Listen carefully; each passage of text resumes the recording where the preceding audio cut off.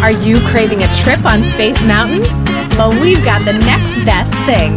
Welcome to Dizney Coast to Coast.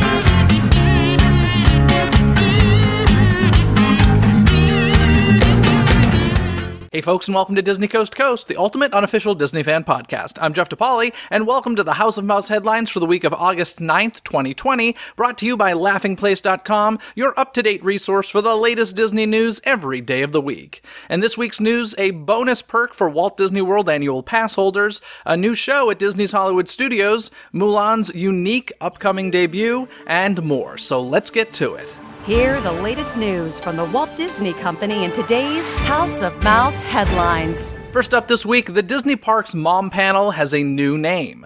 As the Disney Parks blog has announced, the group will now be known as Plan Disney and continue to serve as the official question and answer platform for guests planning a Disney vacation. Despite the name change, Plan Disney panelists will continue to be selected by Disney through a comprehensive search process. However, while panelists are usually part of the team for one year, with the unprecedented changes of 2020, the current panelists will remain on for another year before the next next group is selected. By the way, if you're looking for info for your next trip, the Plan Disney searchable archive has more than 200,000 pieces of advice you can explore. Walt Disney World annual pass holders who can't make it to the parks but still want to get their hands on some Disney Parks merchandise got some unexpected but exciting news this week. From now until August 14th, guests with a valid Walt Disney World annual pass can save 30% on shopdisney.com site wide. To access the benefit, pass holders will need to be logged into an account that matches their My Disney Experience app and use code AP30OFF at checkout. That's AP30OFF. Sadly, at this time, the discount is only valid for Walt Disney World annual pass holders, and the benefit has not been extended to Disneylanders, but hopefully this new precedent could mean that such a benefit is possible down the road.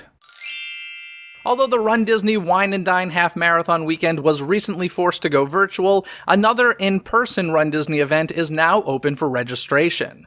Right now, annual pass holders, Disney Vacation Club members, and Golden Oak residents can claim their spots for the 2021 Star Wars Rival Run weekend, while the general public can join starting Tuesday, August 11th at 10 a.m. Eastern. The Run Disney event is slated for April 15th through the 18th at Walt Disney World and will include a 5K, 10K, half marathon, and kids races. So grab your lightsaber and be ready this Tuesday if you want to join the Resistance or First Order this April. After adjusting things such as boarding pass distribution times for the incredibly popular Star Wars Rise of the Resistance ride at Disney's Hollywood Studios, yet another interesting operational change arrived this week. Now, boarding passes bear a scannable barcode at the top, similar to what's found at Disneyland. This is notable because it seems to signal another move away from requiring magic bands and instead allowing guests to simply use their smart devices. Of course, we'll have to wait and see if this is a sign of big things to come or just an added convenience the resort is testing.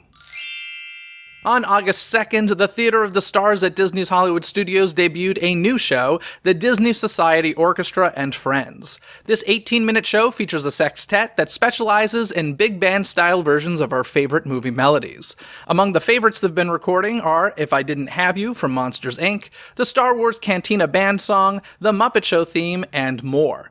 Plus, with these concerts taking place in the venue that typically houses Beauty and the Beast live on stage, friends from that show also make an appearance as the band performs renditions of Be Our Guest and the film's title track. Currently, the Disney Society Orchestra is performing multiple times daily, so be sure to check out your Times Guide or the My Disney Experience app. As the coronavirus pandemic endures, Disney Cruise Line has now canceled sailings through October and early November.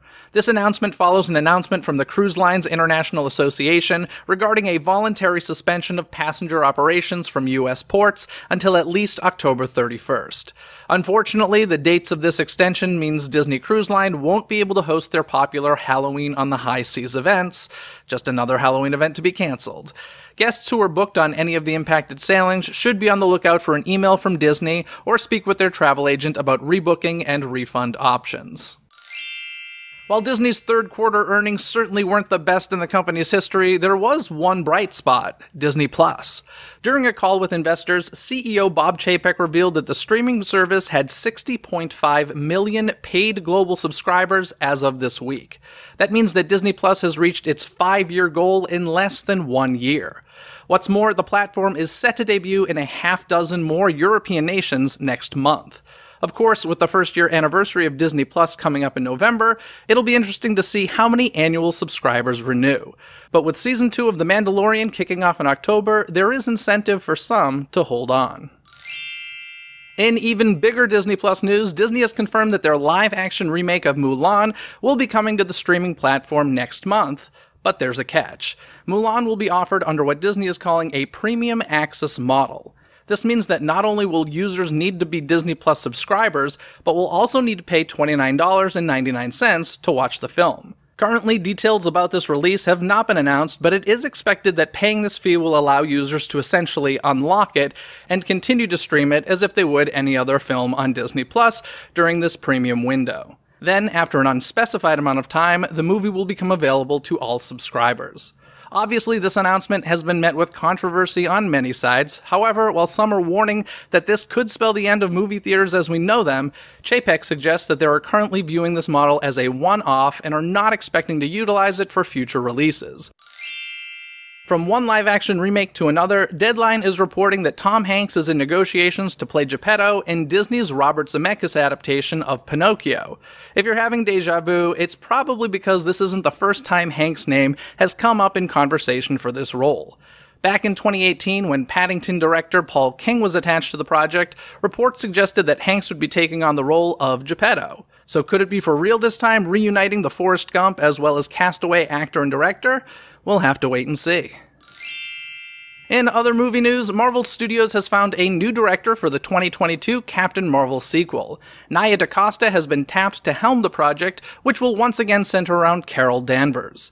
DaCosta recently directed Jordan Peele's Candyman sequel, which is due out this fall, and also wrote and directed the acclaimed 2018 drama Little Woods, which stars Tessa Thompson and Lily James. Unlike the first film, Captain Marvel 2 won't take place in the 1990s, but will star Brie Larson as Captain Marvel. As of now, the sequel is slated to arrive in theaters July 8, 2022. Finally, this week, it seems that Disney's relationship with Netflix may not be entirely over just yet. According to reports, the rival streamer is nearing a deal to acquire the 20th Century Studios film The Woman in the Window. The film, which was originally set to be released in 2019 before being pushed to a May 2020 bow and later removed from the schedule, stars Amy Adams and was directed by Joe Wright. No announcement regarding the possible acquisition has been made, so plans can still change, but either way, it's an interesting glimpse into how Hollywood really works. That's going to do it for the news this week, so let's get to this week's Twitter poll where I asked you folks, do you plan on paying $30 to watch Mulan on Disney Plus? Your options were yes, no, or I'll split the cost. In last place was I'll split the cost with only 12% of the votes, followed by yes, you will pay the $30 with only 31% of the votes, and most of you say no, you're not going to pay it with 57% of the votes. Do you agree with these results? Cast your vote in the Twitter poll every week by following Dizney CTC on Twitter. That's D I Z N E Y C T C on Twitter. And folks, don't forget to check out this past Wednesday's episode where we discussed the often overlooked live entertainment found in Disneyland's New Orleans Square. And this upcoming Wednesday, you certainly won't want to miss the return of Don Hahn as we discuss his new Disney Plus documentary, Howard, about the life and career of Disney legend Howard Ashman. The easiest way to make sure you don't miss any of the magic is by subscribing to Dizney Coast to Coast on Apple Podcasts, Spotify, or wherever you listen to podcasts. Wherever you search, don't forget, it's Disney with a Z, coast to coast. And don't forget, folks, that August is a DCTC livestream Q&A month, so if you'd like to take place in this month's livestream, head on over to patreon.com slash dizneyctc. That's P-A-T-R-E-O-N dot com slash D-I-Z-N-E-Y-C-T-C. Other than that, folks, have a magical day. Bye! Thanks for listening to Dizney Coast to Coast. Have a magical day. Dizney Coast to Coast is produced and hosted by Jeff DePaoli. Learn more about the podcast and become a supporter at DizneyCoastToCoast.com.